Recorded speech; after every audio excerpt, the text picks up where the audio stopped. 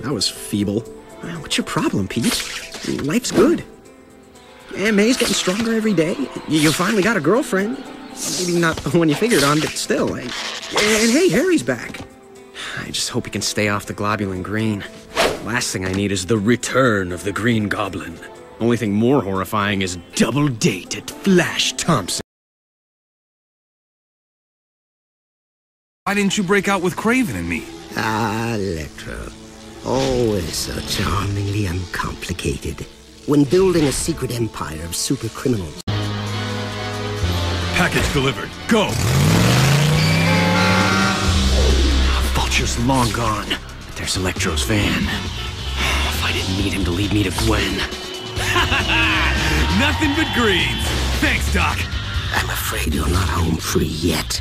The cursed arachnid is on your tail. Not a problem. We'll ditch him. Eat lightning, Spider-Man!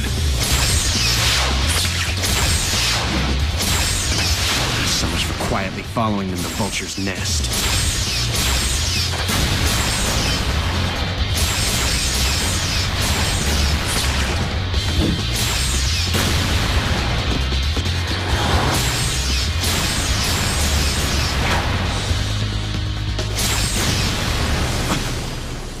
Go?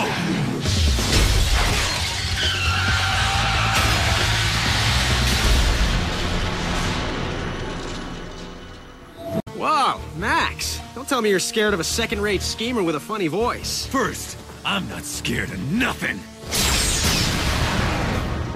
Second, Master Planner ain't second-rate nothing. And third, don't call me Max, or I'll fry you into nothing! Electro, stand down! Retinal scan.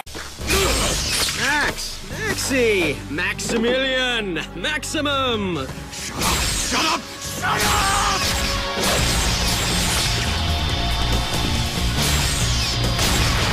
Uh-oh. That's for zapping Gwen.